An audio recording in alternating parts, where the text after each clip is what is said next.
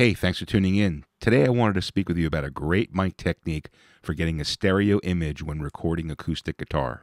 It's called a mid-side setup and it uses two microphones. Now it also requires some post-recording work in your DAW and I'll show you how to do that.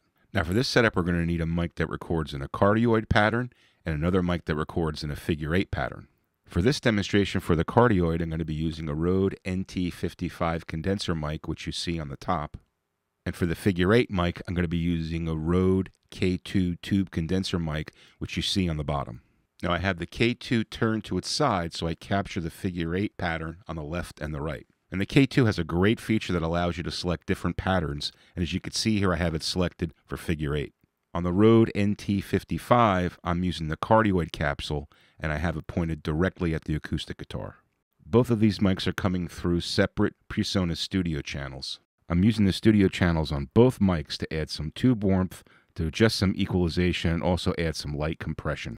I'm using the bottom studio channel to power the NT55. These signals are then routed to my Studio 192 audio interface with both channels set to zero gain. But the point of this demonstration is really not about acoustic guitar tone, it's about getting a stereo image for your acoustic guitar. Now the Studio 192 is of course routed to Studio 1 and I've got two tracks set up, one for the NT55 and the other for the K2. I have the acoustic positioned about a foot away from the microphones, pointing right around the 14th fret.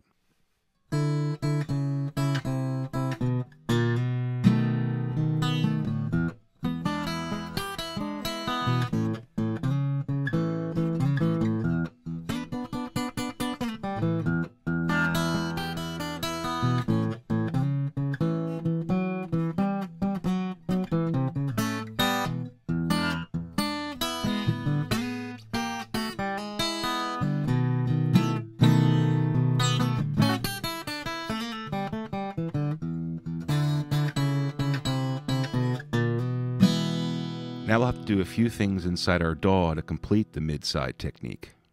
First, we need to duplicate the K2 track recording. Now to make things easier, I'm going to have both K2 tracks running to a single bus, and the NT55 will run to the stereo bus. Now for the mid-side technique, you're going to need to invert the phase on the duplicated figure 8 mic track. And in Studio One, I'm going to use the Mix Tool plugin to do that. Next, we'll need to pan the two K2 figure 8 mic tracks hard left and hard right.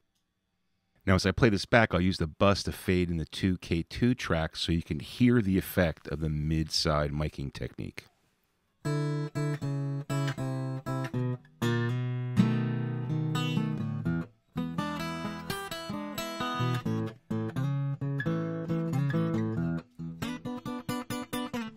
Now let's put the phase back to where it was originally.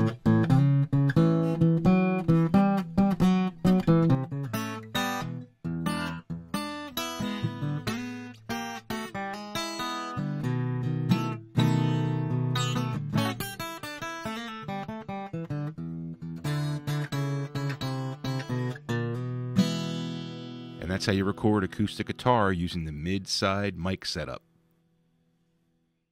Thanks for watching, and I hope this information was helpful. Please don't hesitate to post questions in the comments below or email me at the address listed here. If you like what you saw, please take a second to click the like and subscribe buttons. Thanks for watching, and good luck with your home studio.